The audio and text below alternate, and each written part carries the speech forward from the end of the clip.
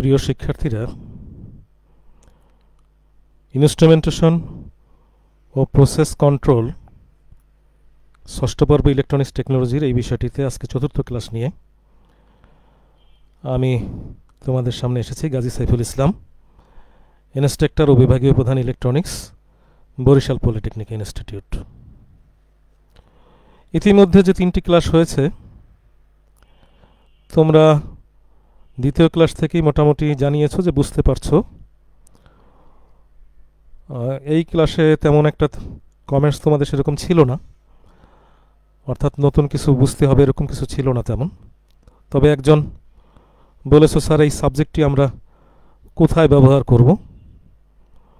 তুমি প্রথম ক্লাসটা যদি করে থাকো, তাহলে সেখানেও তো হয়তো জেনে নিতে পারো, অথবা আবারও দেখে নিতে পারো ক্লাসটি। যে কোনো ইন্ডাস্ট্রিতে যখন আমরা অটোমেটিকভাবে কাজ করাতে চাই যন্ত্রের মাধ্যমে, তখন কিন্তু ইনস্ট্রুমেন্টেশনের প্রয়োজন হয় আর কি। তারপরও আমি, যেহেতু তোমরা জানতে চেয়েছো একজন, আমি এটার ব্যাপারে আরেকটু আলোচনা করব। পাশাপাশি একটি বিষয় আলোচনা করা দরকারও খুব। যদিও এখন পর্যন্ত সিলেবাসে আসেনি, কিন্তু অতি শীঘ্রই আমাদের সিলেবাস এটা অন্তর্ভুক্ত হবে। একুশ সালের যে সিলেবাস যখন তৈরি হবে ইনশাল্লাহ তার ভিতরে আসবে।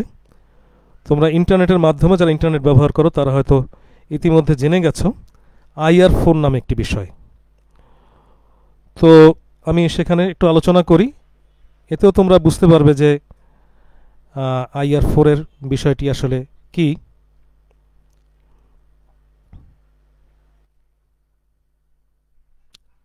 দেখো, একদম আদিম যুগের কথা যখন আমরা ধরেছিলাম যে একদম আদিম অবস্থায় মানুষ কি করছে, তার গায়ের শক্তির দ্বারা কাজ করত। এবং তার কাছে কোনো যন্ত্র তো ছিলই না। অস্ত্রেরও কোনো ব্যবহার সে করতে জানতো না। পাথরের যুগ ছিল একটা টাইমে যে পাথর দ্বারাই সে সব কিছু করতো। এরপরে একটা সময় আসছে যে ধারালো অস্ত্র তারা তৈরি করেছে। লোহার কিছু ব্যবহার শিখেছে। কিন্তু তখনও গায়ের শক্তি দিয়ে মানুষ সব কাজগুলি করত।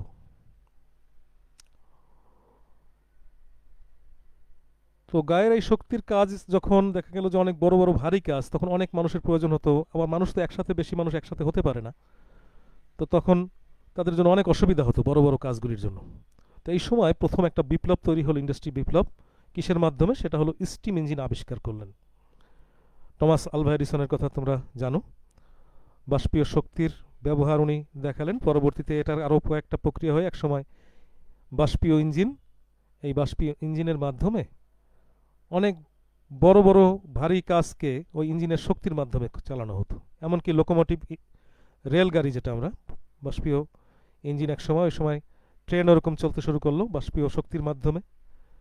তাতে জনগণও চলতেছে, আবার মালামালও পরিবহন হচ্ছে। এছাড়াও যত জায়গায় ইন্ডাস্ট্রি যত ইন্ডাস্ট্রিগুলি তার সব কলকারখানার ভিতরে বাষ্পীয় সিস্টেমের মাধ্যমে এই কাজটা হলো এবং একটা ব্যাপক পরিবর্তন হলো, মানুষ তার গায়ের পরিশ্রমের কাছ থেকে বেঁচে গেল এবং অনেক এগিয়ে গেল মানুষ। এর দ্বিতীয় যে রেভলিউশনটা হলো বিদ্যুৎ শক্তি যখন আবিষ্কার হলো এটা industrial revolution two point zero বলা হয় টু এই টাইমে কি ঘটনা ঘটলো? বিদ্যুতের কারণে আমরা আলো পেলাম, বিদ্যুতের কারণে আমরা মোটরকে তৈরি করতে পারলাম, মোটরের শক্তি দিয়ে আমরা ইন্ডাস্ট্রি থেকে কাজে লাগাতে পারলাম, মোটরকে কন্ট্রোল করা বাষ্পীয় ইঞ্জিনকে কন্ট্রোল করার চাইতে অনেক সহজ। ইচ্ছে মতো ঘুরানো যায়, ইচ্ছে মতো স্পিডকে কন্ট্রোল করা যায়। এই বিভিন্ন অবস্থায় দেখা গেল যে বিদ্যুৎ শক্তির আবিষ্কারের ফলে ইন্ডাস্ট্রি জগতে একটা ব্যাপক পরিবর্তন হলো এবং পৃথিবী একটা ধাপে এগিয়ে গেল আর কি। এরপরে এই কিছুদিন আগের কথা, আজকে থেকে মনে করো পঞ্চাশ বছর আগের কথা, তখন মাইক্রো ইলেকট্রনিক্স চলে আসলো, ইলেকট্রনিক্সের শাখা ডেভেলপ করল। ইলেকট্রনিক্সের এই শাখা যখন ডেভেলপড হলো, তখন মাইক্রো ইলেকট্রনিক্সের মাধ্যমে যে তোমরা মাইক্রো কন্ট্রোলার বলতেছো, এই মাইক্রো কন্ট্রোলার সহ অন্যান্য ইলেকট্রনিক্সের বিভিন্ন যন্ত্রপাতির মাধ্যমে কন্ট্রোলিং সিস্টেমটা অনেক আধুনিক হয়ে গেল আর কি। বিদ্যুতের মাধ্যমেই সব কিছু চলে, কিন্তু কন্ট্রোলিং সিস্টেমটা চলে আসলো ইলেকট্রনিক্সের কাছে। এবং ইন্ডাস্ট্রি অটোমেটিক কন্ট্রোল হয়ে গেল, এটাকে আমরা অটোমেশন বলি, বা এটাকে আমরা বলি ইনস্ট্রুমেন্টেশন হলো আর কি।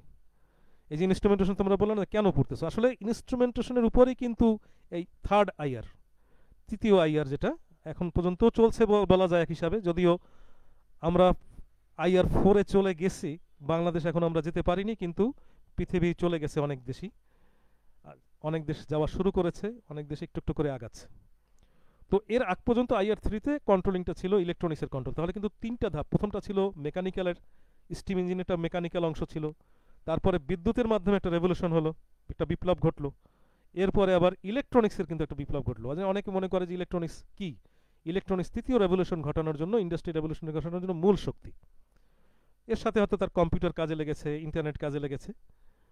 এখন বর্তমানে দুই হাজার পনেরো সালের পর থেকেই IR four industry revolution four যেটা এটা কিন্তু শুরু হয়ে গেছে এবং এক্ষেত্রে কতগুলি টার্ম আসছে যেগুলো এখন আমরা আলোচনা করার সময় না জাস্ট একটা ধারণা তোমাদেরকে দিচ্ছি যে ক্লাউডিং বলতে একটা জিনিস আছে clouding cloud money to make অর্থাৎ আমাদের সব তথ্যগুলি সার্ভারে থাকবে এবং সার্ভারগুলি একটার সাথে একটা লিঙ্ক করা থাকবে, যত তথ্য আছে আর কি, আমি যে কোনো তথ্য এখনই যেন আমরা সার্চ দেই গুগলে সার্চ দেই, তথ্য চলে আসে না, ওটা কিন্তু একটা সার্ভার থেকে আসে। ঠিক এরকম আমাদের সমস্ত জীবনের যা কিছু তথ্য সব ক্লাউডে থাকবে। যার যেখান থেকে প্রয়োজন সে সেখান থেকে সেটাকে ব্যবহার করবে। প্রোগ্রাম করলে সরাসরি ক্লাউডে সে প্রোগ্রাম করবে, অর্থাৎ সেখানেই প্রোগ্রাম হবে, সেখানেই কাজ করবে। ইন্ডাস্ট্রিও ওই ক্লাউডিংয়ের থেকে ডাটা নেবে। ইন্ডাস্ট্রিও ওই ক্লাউড থেকেই সে তার তথ্য নিয়ে সে কাজ শুরু করবে। প্রোগ্রামিং করে দেওয়া হবে ইন্ডাস্ট্রি ইন্টারনেটের মাধ্যমেই। এই ইন্ডাস্ট্রিগুলি কাজ করতে থাকবে ইন্টারনেটের মাধ্যমে প্রোগ্রাম হবে। এটাকে আইওটি বলে ইন্টারনেট অফ থিংস এবং এর সাথে আর্টিফিশিয়াল ইন্টেলিজেন্স বলে, কৃত্রিম বুদ্ধিমত্তা, এটাও কাজ করবে। দেখা যাবে রোবট আমরা যে বলি রোবট এই রোবটগুলি দেখা যাবে যে সব কাজগুলি, মানুষের যে কাজগুলি তারা করতে থাকবে সব কিছু অধিকাংশ কাজগুলি তারা কৃত্রিম বুদ্ধিমত্তার সাহায্যে করবে এবং এই আর্টিফিশিয়াল ইন্টেলিজেন্সও ওই আইআর ফোরের একটা অন্তর্ভুক্ত জিনিস। এবং এনার্জিকে নতুনভাবে ব্যবহার করার পদ্ধতি শিখবে মানুষ আরও। এখনই অনেক এনার্জিকে ব্যবহার করা শিখছে।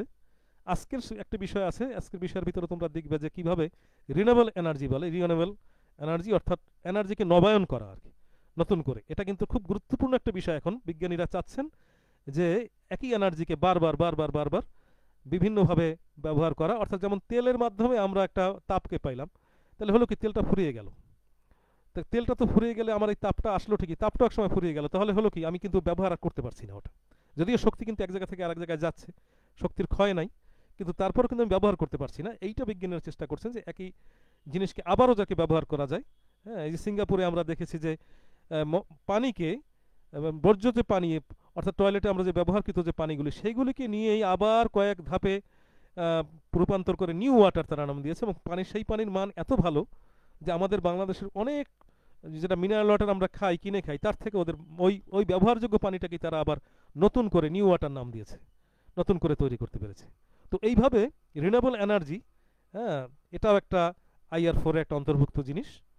তো যাই হোক, আমি একটু আলোচনা এটা করলাম এই কারণেই যে তোমাদের ভিতরে প্রশ্ন না থাকে ইনস্ট্রুমেন্টেশন পরে কি হবে। ইনস্ট্রুমেন্টেশন তো আইআর থ্রির গুরুত্বপূর্ণ ধাপ এবং এটা যখন আরও স্মার্ট হবে, অর্থাৎ সব কিছু ইলেকট্রনিক্সের মাধ্যমে কন্ট্রোল হবে ইন্টারনেটের মাধ্যমে কন্ট্রোল হবে, কৃত্রিম বুদ্ধিমত্তার মাধ্যমে কন্ট্রোল হবে, তখন সেটা আমরা আইআর ফোরের ভিতরে যাব এবং আমাদের শিগগিরই সিলেবাসের ভিতরে ব্যাপক পরিবর্তন ঘটানো দরকার।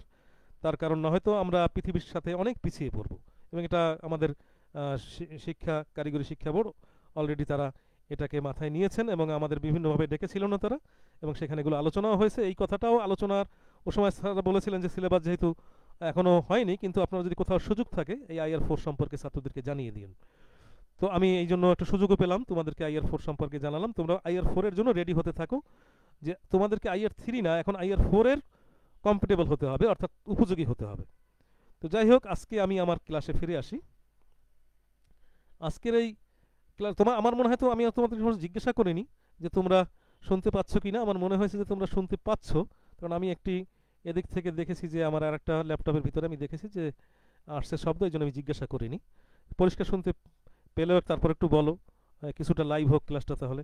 আর পাশাপাশি তোমরা ওই যে আবার বলছি যে না বুঝলে, তোমরা কমেন্ট করে জানিও।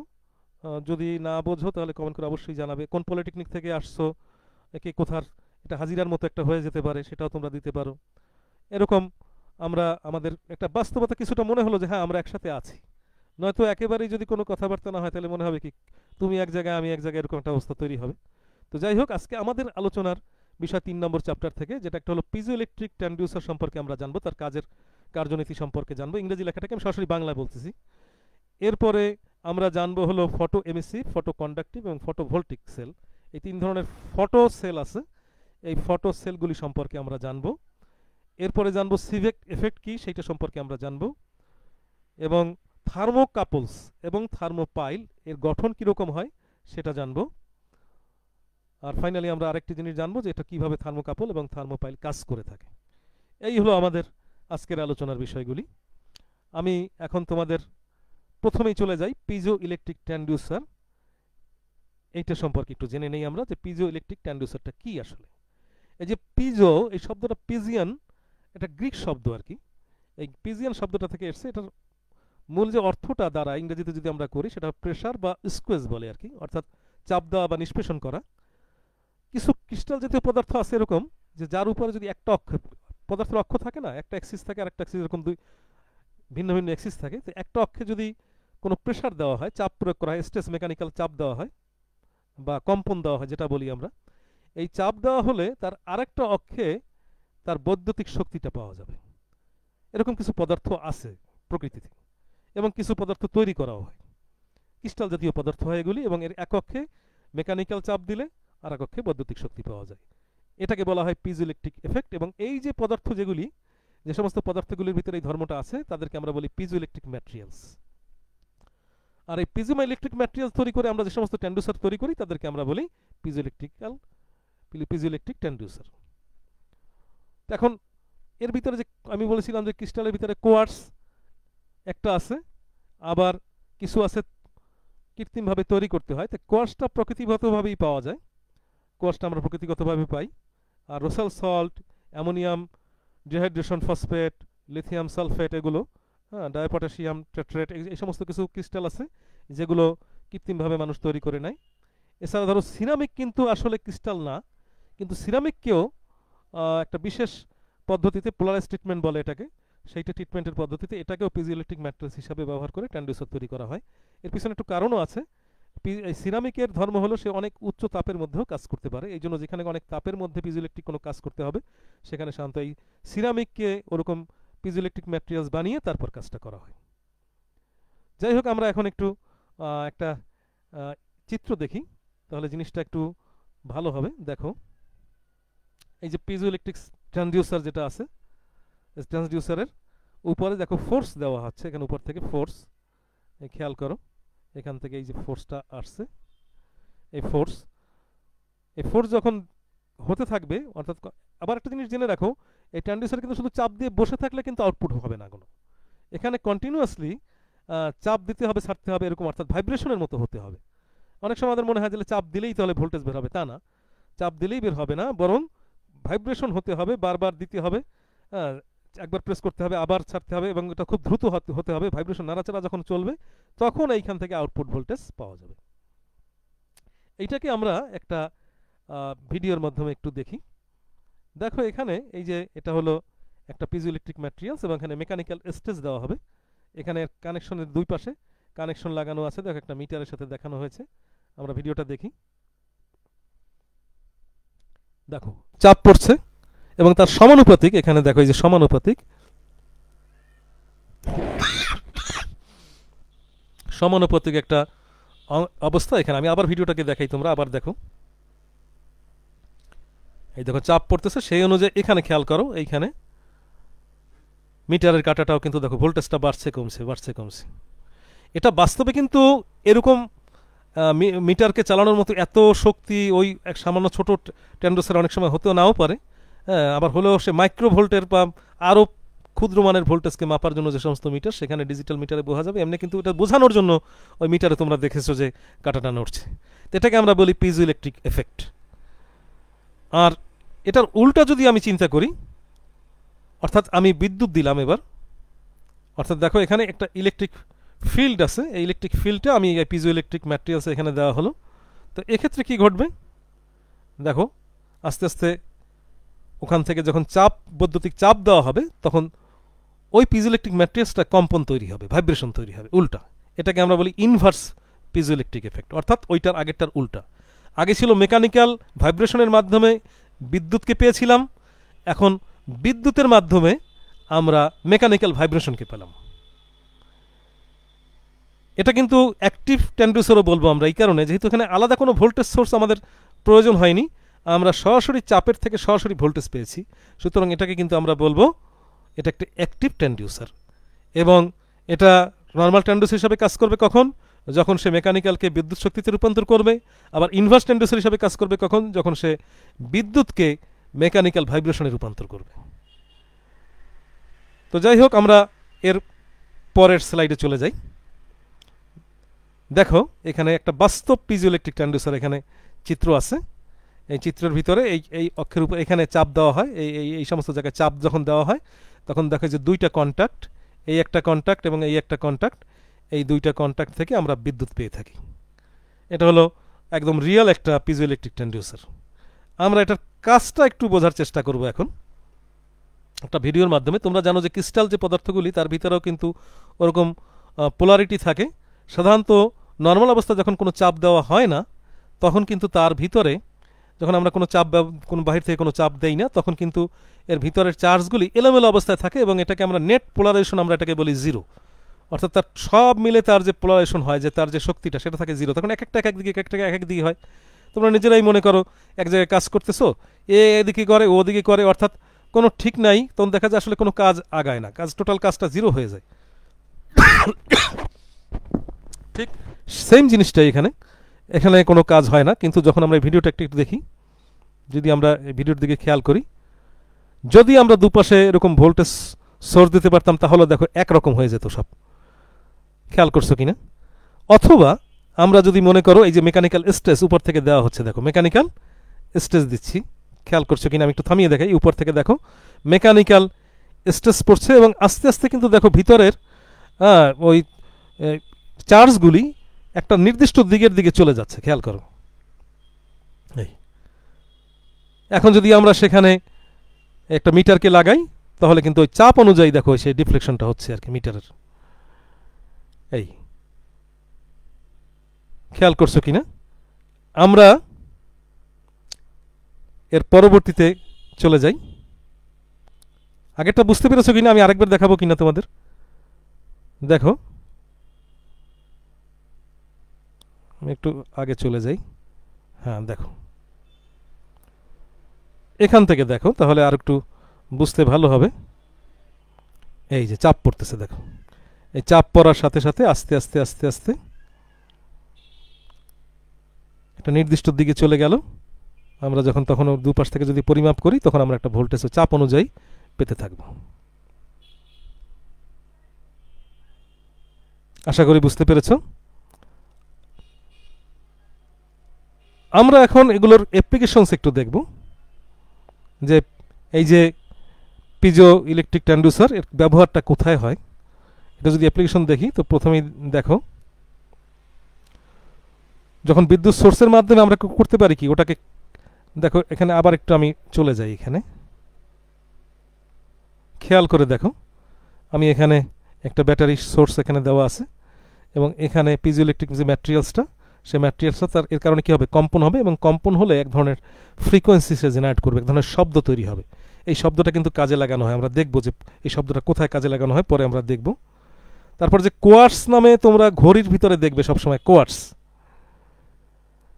অনেক ইলেকট্রনিক্স যে ঘড়িগুলি থাকে তার ভিতরে, আমার স্লাইডটা একটু চলে যাচ্ছে, দাঁড়াও। আমি একটু এলোমেলো হয়েছে এখানে, দাঁড়াও। হ্যাঁ এখান থেকে আবার দেখো।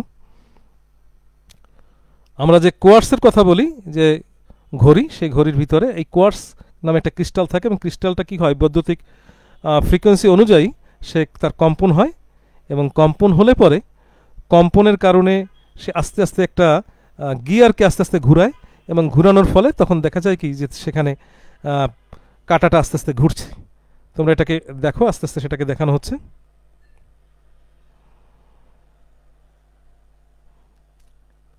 এখানে দেখবা যে ওই কাটাটা যখন ঘুরতে থাকে, সেটা আসলে ওই ক্রিস্টাল ফ্রিকোয়েন্সি অনুযায়ী কম্পনের মাধ্যমে আস্তে আস্তে ঘড়ির কাটা ঘুরতে থাকে। এই জন্য কিন্তু ওই ঘড়ির গায়ে যে আমাদের ইলেকট্রনিক যে ঘড়িগুলোর গায়ে লেখা থাকে কোয়ার্টস আসলে সেখানে একটা ক্রিস্টাল ব্যবহার করা হয়েছে এবং একটা পিজো ইলেকট্রিক ম্যাটেরিয়াল সেট ওই পিজো ইলেকট্রিক ম্যাটেরিয়ালসের মাধ্যমেই বৈদ্যুতিক শক্তিকে, কম্পন শক্তির মাধ্যমে এটাকে একটা গিয়ারের মাধ্যমে সেটাকে আস্তে আস্তে কাটাটাকে ঘুরানো হয়। এইভাবে আমরা ইলেকট্রনিক্স ঘড়িগুলি আমরা শান্ত দেখে থাকি।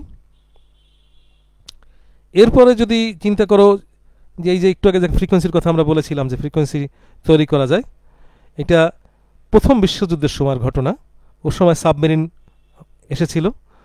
এখন সাবমেরিন থেকে কোনো জাহাজকে আইডেন্টিফাই করার জন্য অথবা কোনো জাহাজ থেকে সাবমেরিনকে আইডেন্টিফাই করার জন্য এরকম পিজো ইলেকট্রিক ট্রান্ডুসারের মাধ্যমে এরকম সাউন্ড পাঠিয়ে রিফ্লেকশনের মাধ্যমে ধরা হতো।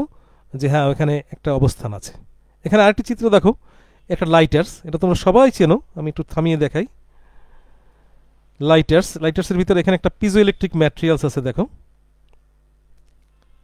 এই পিজো ইলেকট্রিক ম্যাটেরিয়ালস এই পিজো ইলেকট্রিক ম্যাটেরিয়ালসে যখন প্রেশার দেওয়া হয়, তো প্রেশার দিলে কি হবে? এখানে একটা হাই ভোল্টেজ তৈরি হবে ওই মুহূর্তে। সেই হাই ভোল্টেজটা এখানে যখন আসবে, এখান থেকে গ্যাস গ্যাসটা যদি খুলে যায়, তখন লাইটারটা জ্বলে উঠবে। সেটা একটু দেখো।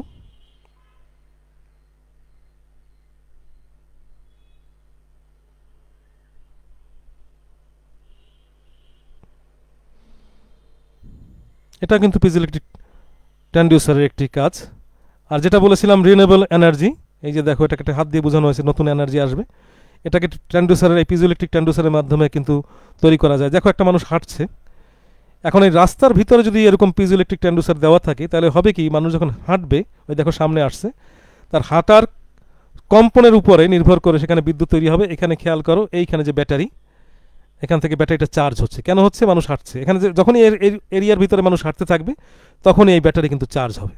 তো হাঁটার মাধ্যমে কিন্তু আমরা একটা শক্তিকে নিয়ে নিচ্ছি। যেরকম সরু থেকে আমরা শক্তি নেই, এরকম পিজো ইলেকট্রিক এখানে দেখো একটা মোবাইল ফোন এর বাটনে আমরা চাপ দেবো। এখানে এরকম পিজো ইলেকট্রিক ম্যাটেরিয়ালস এখানে যদি থাকে, মনে করো বাটনগুলির ভিতরে পিজো ইলেকট্রিক ট্যান্ডুসার আছে।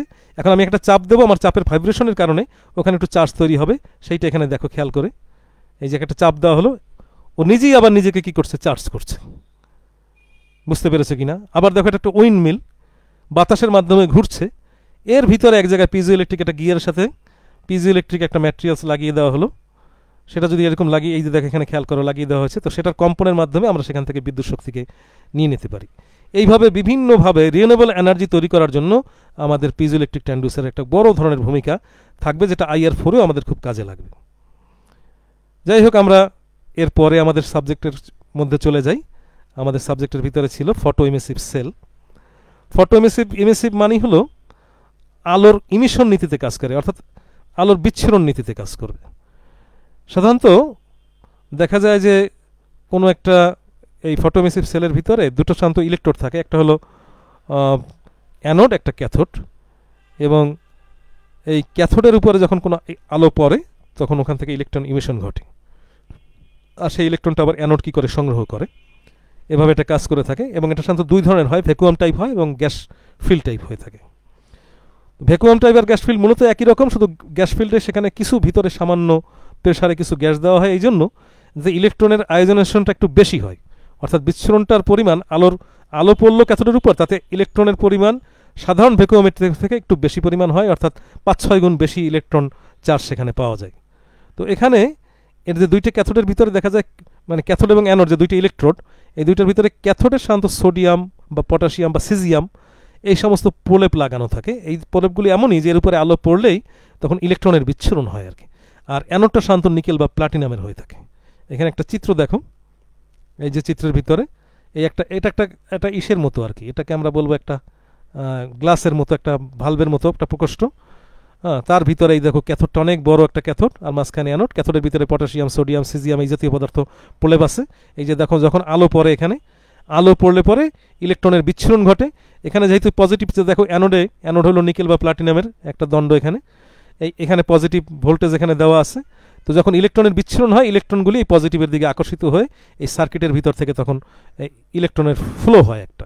অর্থাৎ সেটা আমরা এই মিটারের ভিতর দেখি। অর্থাৎ আলো কী পরিমাণ পড়ল সেই অনুযায়ী ইলেকট্রনের ফ্লো বারে বা কমে। যত আলো বেশি পড়বে, ইলেকট্রনের ফ্লো তত বেশি হবে। আমরা সাধারণত আলোর পরিমাণ যেখানে নিয়ে কাজ করতে হয়, তখন আমরা সাধারণত এরকম photoemissive photovoltaic photoconductive এরগুলো আমরা ব্যবহার করি। নেক্সটে আমরা যাই photoconductive cell photoconductive cell তোমরা জানো, এটার আরেকটা নাম কিন্তু এলডিআর লাইট ডিপেন্ডিং রেজিস্টর এই জন্য তোমরা এটা বললে সবাই চিনতে পারবে। কারণ এটা অনেক আগে থেকে তোমরা পড়ে এসেছ। কারণ কিছু কিছু পদার্থ আছে, যেমন ক্যাডমিয়াম সালফাইড ক্যাডমিয়াম সেলেনাইট হ্যাঁ লিড সালফাইড লিড সেলেনাইট এই সমস্ত পদার্থের উপর আলো পড়লে তাদের রেজিস্টিভিটি কমে যায় সাধারণত। আলো যত বাড়ে, তত রেজিস্ট্যান্স কমে। এখন একটা ভোল্টেজ সোর্সের সাথে যদি সেটা লাগানো থাকে, তাহলে কি হবে? ভোল্টেজ সোর্স যত, ও রেজিস্ট্যান্সটা কমে যাবে, তত কারেন্ট বৃদ্ধি পাবে। তার মানে কি? কন্ডাক্টিভিটি বৃদ্ধি পাবে। তাহলে এখানে আলোর সাথে সাথে কন্ডাক্টিভিটি বাড়ছে বা কমছে। হ্যাঁ এইটা এইটা দেখো সেই এলডিআর কথা, এটাকে এলডিআরও বলা হয় লাইট ডিপেন্ডিং রেজিস্টার দেখো এইটা চিত্রটা তোমরা এটাকে সবাই চেনো, আমার মনে হয় কম বেশি। এই দেখো, দুইটা প্রান্ত এখানে। এখান থেকে যদি আমরা এখানে আলো পরে এখানে এই শান্ত ক্যাডমিয়াম সালফাইড বললাম না, ক্যাডমিয়াম সেলেনাইট, এই সমস্ত পদার্থ দ্বারা তৈরি হয়।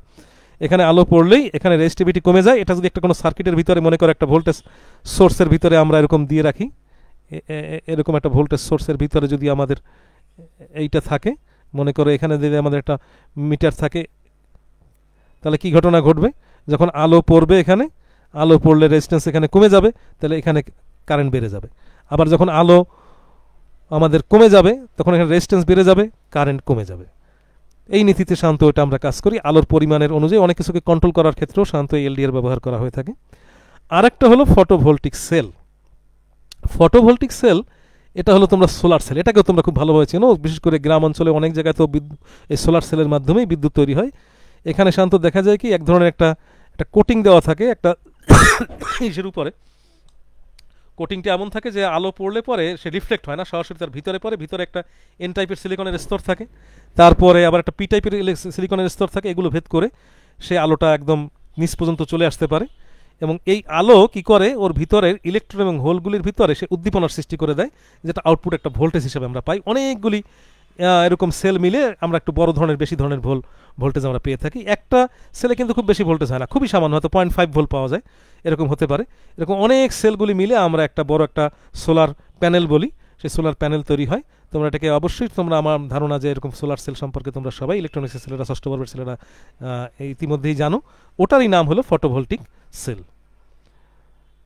এই দেখো, চিত্রের ভিতরে সেটা আছে। খেয়াল করে দেখো এখানে। এই যে আলোগুলি পরে এখানে এই অ্যান্টি রিফ্লেকশন কোটিং বলেছিলাম। এটা রিফ্লেকশন হয়ে যাবে না, ভিতরে সব ঢুকে আসবে এবং এখানে হোল এবং এখানে এন টাইপ সিলিকন এবং পি টাইপ সিলিকনকে ভেদ করে এখানে আসবে এবং হোল এবং ইলেকট্রনগুলিকে উদ্দীপ্ত করবে, যার ফলে একটা আউটপুট ভোল্টেজ এখানে পাওয়া যাবে। এরপরে আমরা দেখব সিভিক এফেক্টটা কি, এইটা আমরা দেখব সিভিক এফেক্ট সিভিক এফেক্টটা হলো, এটা জার্মান পদার্থবিজ্ঞানী টমাস জন সিভিক একসময় উনি পরীক্ষা করে দেখেছেন যে দুটো ভিন্ন ওয়ার্ক ফাংশন বিশিষ্ট যদি দুইটা ধাতব তারকে দুই প্রান্ত যদি সংযোগ করা হয়, আর যদি তার দুই প্রান্তে দুই ধরনের তাপমাত্রা, ভিন্ন তাপমাত্রা দেওয়া হয়, তখন তার ভিতরে একটা ভোল্টেজ পাওয়া যায়। ওনার নাম অনুসারে এটাকে বলা হয় সিভিক ইফেক্ট। এই দেখো এখানে চিত্রের ভিতরে, দেখো এই একটা এই একটা ম্যাটেরিয়ালস মেটাল বি একটা মেটাল এ দেখো এই প্রান্তে সংযোগ করা হয়েছে, এই প্রান্তে সংযোগ করা হয়েছে। এই দুই প্রান্তের সংযোগের এখানে তাপ দেওয়া হয় বেশি আর এখানে একটু ঠান্ডা রাখা হয়। এক্ষেত্রে দেখা যায় একটা খুব সামান্য মানের ভোল্টেজ পাওয়া যায়। এখানে কিন্তু মিটারে ধরা পড়বে না, খুব সামান্য ভোল্টেজ পাওয়া যাবে। এটাকে সিভিক এফেক্ট বলি। এই সিভিক এফেক্টের মাধ্যমে আমরা থার্মোকাপলকে কাজে কাজে লাগাই। থার্মোকাপল থার্মোকাপল মানে থার্মো দুইটা থার্মাল জিনিস যুক্ত হওয়া। ওই যে সিভিক এফেক্ট থেকে দেখা যায় দুইটা তার কি হয়েছে? যুক্ত হয়েছে। এই দুইটা তার যখন যুক্ত হয়, তখন আমরা সেটাকে বলি সিভিক এফেক্ট এবং সেইটার মাধ্যমে যখন আমরা করি, তখন সেটা থার্মোকাপল বলা হয়। খেয়াল করো, এখানে আমি একটা জিনিস তোমাদেরকে একটু দেখাই। মনে করো এই একটা তার এবং এই একটা তার। এখন এইটা, এই তারটা মনে করো কপারের, এই তারটা মনে করো ফেরিকের। এখানে আমি আমি আঁকা খুব ভালো মানুষ না আর কি। ধরলাম এটা একটা মোমবাতি আমাদের। এখানে এইটাকে আমরা যদি বলি hot junction, hot hot junction. আর এই এই অংশটুকে আমরা যদি বলি কোল্ড জাংশন, কোল্ড। তাহলে এখান থেকে যদি আমরা একটা তার মাধ্যমে সংযোগ করে নিই, এখানে নর্মাল কন্ডাক্টর তার দিয়ে হবে। এখানে তাহলে আমরা বলতেছি যে এখানে একটা ভোল্টেজ পাওয়া যাবে। এখানে একটা মিটারে ভোল্টেজ পাওয়া যাবে, যদিও মানটা খুব কম। এইটা হলো কোল্ড জাংশন এটা হলো হট জাংশন দুইটা জাংশন এইটাকে আমরা বলি থার্মোকাপল যে থার্মোর সাথে যুক্ত হয়েছে জন্য এটাকে আমরা বলি থার্মোকাপল তো আজকে আমরা এই পর্যন্তই থাকি, যেহেতু আরেকটু পড়ানোর ইচ্ছা ছিল, আগামী ক্লাসে হয়তো সেটা আমরা দেখব থার্মোকাপলটা বুঝেছ। আচ্ছা থার্মোপাইলটা একটু দেখি, এক মিনিট হয়তো আমাদের লাগবে, বেশি লাগবে না। থার্মোপাইলটা হলো সাধারণত আমরা একটা থার্মোকাপলের আউটপুট থেকে আমরা পাই না। অনেক বেশি আমরা নিতে পারি না। খুব অল্প পরিমাণ ভোল্টেজ সেখানে পাওয়া যায়, সেখান থেকে আমাদের কোনো কাজ হয় না। এই জন্য একাধিক থার্মোকাপলকে আমরা যখন যুক্ত করি দেখো যে এখানে যদি আমরা একাধিক থার্মোকাপল, যদি এরকম হয় যে এই একটা থার্মোকাপল আবার এই একটা থার্মোকাপল, এরকম অনেক থার্মোকাপল থাকে। এগুলোকে যদি আমরা কি করি? সিরিজে যুক্ত করি। মনে কর এই একটা থার্মোকাপল। এগুলোকে যদি আমরা সিরিজে একটার সাথে একটা যুক্ত করি, এখান থেকে আউটপুট নেই। তাহলে এখানে কিন্তু একটা ভোল্টেজ পাচ্ছি। এখানে আরেকটা ভোল্টেজ পাচ্ছি, এখানে একটা ভোল্টেজ পাচ্ছি। টোটাল ভোল্টেজটা ভিটিটা কী হবে? এটা যদি আমাদের ভি ওয়ান হয়, এটা ভি টু হয়, এটা ভি থ্রি হয়, তাহলে কিন্তু আমরা পাবো V one plus V two plus V three এরকমভাবে পাবো। এখানে অনেকগুলি যদি থার্মোকাপল আমরা একসাথে করি, তখন সেই একসাথে করার ফলে আমরা দেখা যায় যে সেখানে একা, একাধিক থার্মোফিলের সিরিজের যোগফলের ফলে আমরা অনেক বেশি পরিমাণ ভোল্টেজ পাই, যেটাকে আমরা কাজে লাগাতে পারি। এই থার্মোপাইল কিন্তু আসলে অনেকগুলি থার্মোকাপলের সিরিজের একটা সংযোগ। তো যাই হোক, এখন আমরা সেটাকে একটু এখানেও দেখতে পারো। অনেকগুলি দেখো হট জাংশন আছে হ্যাঁ কোল্ড জাংশন আছে, হট জাংশন, কোল্ড জাংশন। এই হট এবং কোল্ড জাংশন মিলে এখান থেকে আউটপুটটা কিন্তু আমরা পাই একসাথে। একটা হট জাংশন থেকে একটা কোল্ড জাংশন থেকে। সবগুলি জাংশনের যোগফল কিন্তু থার্মোপাইলের মাধ্যমে আমরা পেয়ে থাকি। তো যাই হোক তোমাদের বাড়ির কাজ দিয়ে দেই। বাড়ির কাজের ভিতরে একটা হলো পিজো ইলেকট্রিক ট্রান্সডিউসারের কার্যপ্রণালী বর্ণনা করবে। ফটো এমিসিভ সেল ফটোভোল্টিক সেলের কার্য গঠনচিত্র বর্ণনা করবে এবং সিভেক এফেক্ট কি সেইটা সম্পর্কে তোমরা একটু বলবে। আর একটা হলো থার্মোকাপলের চিত্রসহ কার্যপ্রণালী বর্ণনা করবে। এই মোটামুটি আমি শেষের দিকে একটু তাড়াহুড়ো হয়ে গেছে। তোমরা যদি বুঝতে সমস্যা আমাকে জানিও। আর ক্লাসটা আগামী ক্লাসের ভিতরে যদি এরকম কোনো জিনিস জানা থাকে, তোমরা আবার কমেন্ট করে আমাকে জানিও, আমি অবশ্যই আগামী ক্লাসে সেগুলোর উত্তর দেওয়ার চেষ্টা করব। ধন্যবাদ সবাইকে। আমি ব্যক্তিগতভাবে একটু অসুস্থ হয়েছি, তোমরা আমার জন্য দোয়া করে একটু কাশি দেখা দিচ্ছে এখন তো কাশিতে আমরা ভয় পাই। এই জন্য তোমরা একটু দোয়া করবে যেন আল্লাহ তালা আমাদের, আমাকে এবং তোমাদের সবাইকে আল্লাহ তালা যেন ভালো রাখে। ধন্যবাদ সবাইকে। আসসালামু আলাইকুম।